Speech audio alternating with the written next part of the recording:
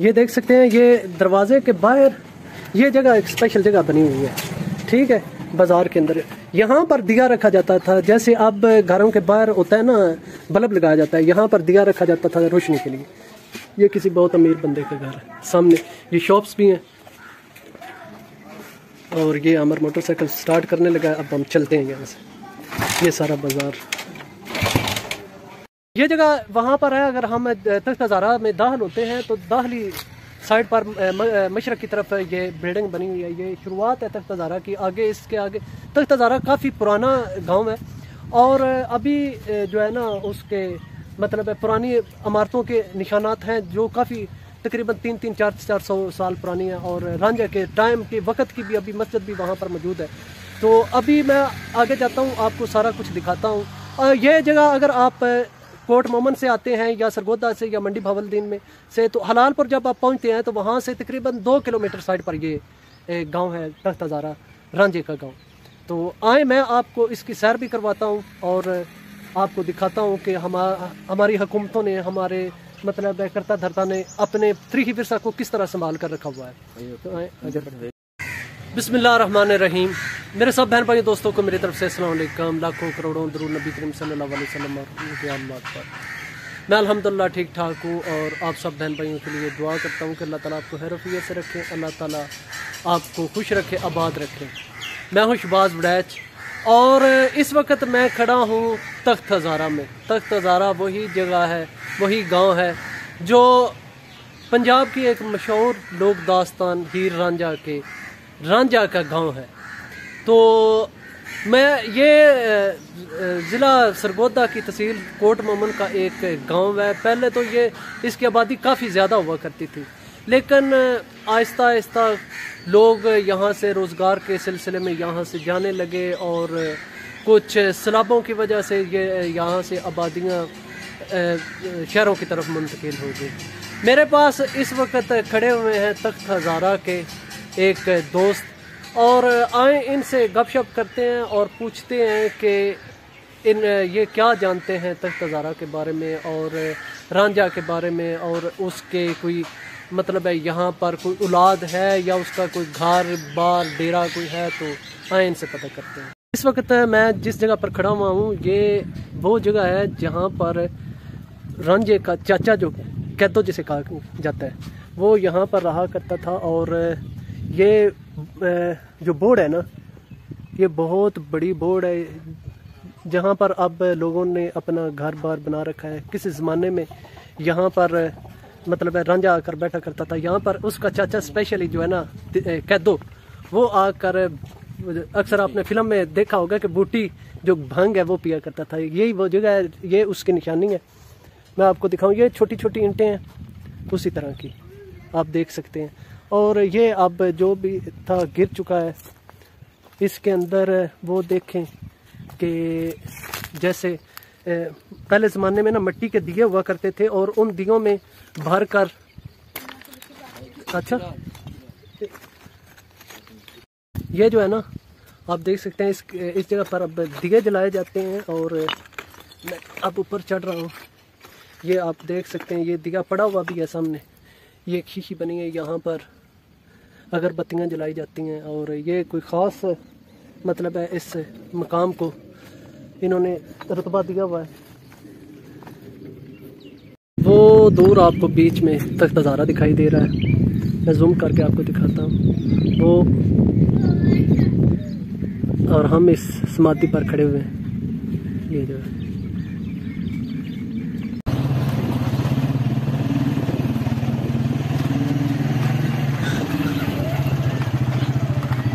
देख सकते हैं, वही पुराने ज़माने की बिल्डिंगें बनी हैं जब पार्टीशन के पहले से। ये ये एक छोटा सा बाज़ार है, तख्त हज़ारा का। ये देखें, ये इस साइड पर ये शॉप्स बनी हुई हैं। इनके अंदर भी मतलब है, ये पुरानी सारा स्ट्रक्चर है। और ये छोटी छोटी दुकानें हैं। ये साथ एक स्कूल है गवर्नमेंट का स्कूल है और ये भी बच्चों का स्कूल बिल्कुल। ये पार्टीशन के पहले की सारी बिल्डिंगें हैं। ये छोटा सा बाज़ार है यहाँ का और ये देखें। ये हमारा कौमी विरसा है जिसे बिल्कुल ख़त्म कर दिया गया। ये देखेंगे इस गाँव की इंटें भी मतलब घर की इंटें भी बिल्कुल बहुत छोटी ही। हैं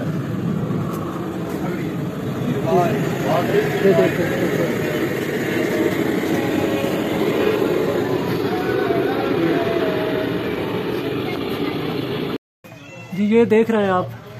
ये इमारतें बिल्कुल बहुत पुराने ज़माने की हैं। मैं ये सारा बाज़ार देख रहा हूँ टोटली ऐसा है जैसे मतलब पार्टीशन के पहले की बिल्डिंगें हैं और ये दरवाजे का स्टाइल आप देख सकते हैं। आगे अभी ये मेरे साथ है जो भाईजान है, वो मुझे स्पेशली दिखा रहे हैं ये सारा कुछ।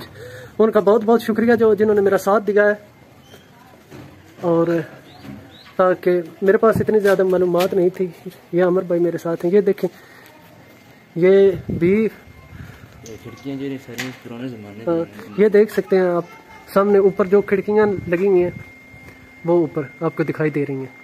ये सारा कुछ पुराने ज़माने का है। काफ़ी दो सौ तीन सौ साल पुराना ये बिल्डिंग आप देख सकते हैं। वो ऊपर बिल्कुल। आपको अच्छा ये सारी जो है ना बहुत पुरानी है और ये सामने आप देख सकते हैं, वो बिल्डिंग आपको दिखाई दे रही है ऊपर। ये सारा कुछ। ये बहुत उस ज़माने का है, जिस ज़माने में यहाँ पर रांझा हुआ करता था शायद। ये जो अभी घर घर है ना, जिसके सामने मैं खड़ा हुआ, इस पर ताला लगा हुआ है, ठीक है? यहाँ से वहाँ पर बीच में अगर आप देखें ना ये पूरा मतलब एक महान का शक्ल पेश कर रहा है, लेकिन अभी यहाँ पर हर तरफ़ ताले लगे हुए मैं, मुझे अगर कोई नज़दीक बंदा मिलता तो मैं ज़रूर आपको दिखाता कि ये अंदर से कैसे हैं। लेकिन अभी तक हमारे पास जो मालूम है, उसके मुताबिक तो यही कुछ है। ये बाज़ार सारा जो है ना, एक छोटा सा गाँव हुआ करता था ये। तो अभी भी छोटे ही है इतना बड़ा कोई नहीं है। ये देखें। ये जी एक बारांदरी बनी हुई है, ये तख्त हज़ारा में दाखिल होने से बिल्कुल पहले आती है और ये बिल्डिंग जो है ना वो उन्नीस सौ इकतीस की बनी हुई यहाँ पर ऊपर जो है ना वो लिखी हुई है डेट भी। और यहाँ पर बाग हुआ करता था। यह अभी भी निशानियाँ हैं। ये आम लगे हुए हैं। ये आगे मैं आपको जाकर दिखाऊँ तो अच्छा। ये नाशपाती का दरख्त है। जी ये नाशपाती है। वो आम है। और ये सारा कुछ कमर मुझे दिखाने के लिए ला रहे हैं साथ। ये मैं आपको दिखाऊँ ये इस तरह की बिल्डिंग है। वो ऊपर जी क्या लिखा है? ये उन्नीस सौ इकतीस तो लिखा हुआ मुझे। जेटली पी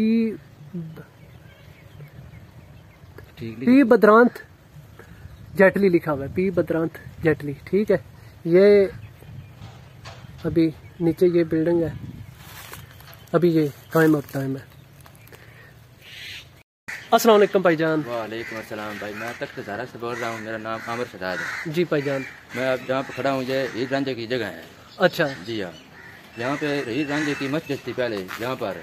अच्छा। अब ये टूट गई है नई बनाई गई है। अच्छा ये जो मस्जिद है सामने दिखाई दे रही है आपको ये अभी नई बनी हुई है लेकिन इस जगह पर रांझे की मस्जिद हुआ करती थी। यहाँ पे रांझे की मस्जिद हुआ करती थी। ठीक है। और ये नीचे मुझे जो ईंटें दिखाई दे रही है ना ये आप देखें ना पुराने जमाने की ईंटें हैं बहुत बरीक बरीक ईंटें जिस तरह मुगलों के दौर में हुआ करती थी। हाँ। तो यही ईंटें इस वक्त इस जगह पर लगी हुई हैं और ये निशानी है कि यहाँ पर रंज की रिहाइश हुआ करती थी।